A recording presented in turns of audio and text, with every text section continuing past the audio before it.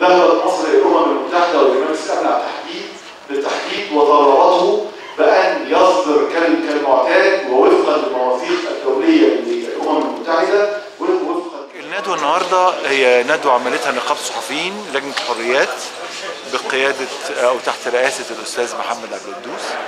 والفكرة بتاعتها فكرة مهمة جدا.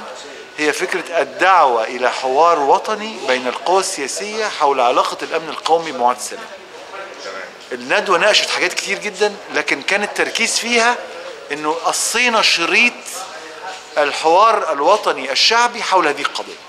ما عادتش قضية الدولة ما عادتش قضية الحكومة وإنما أصبحت قضية كل القوى الوطنية تشارك فيها. في أفكار كتير قوي مش هنعرف نقول تفاصيلها دلوقتي.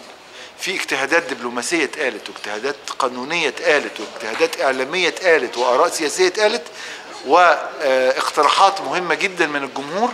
لكن النقطة الرئيسية في الموضوع هو إنه اتقص الشريط لفتح هذا الملف وأخواته من الملفات التي تم تجاهلها منذ قيام الثورة وهي الملفات الأخطر في الصندوق الأسود اللي سابه لنا نظام مبارك. لما المصريين يطلبوها لما المصريين ينزلوا يعملوا مرة مليونية في الشارع يقولوا إنه إحنا مش قابلين هذا الكلام اعتبر إنه أهدافنا اتحققت في هذه المسألة وإن المعاهدة اتع- اتعدلت. إحنا أنا مش مهم رأيي أنا شخصيا المهم إنه الحد الأدنى المتفق عليه من كل المصريين أو القوى الوطنية دلوقتي هو فكرة إنه على الأقل نعدل المادة الرابعة من معاهدة السلام اللي بتحد من السيادة المصرية على سيناء على مجموعة من الترتيبات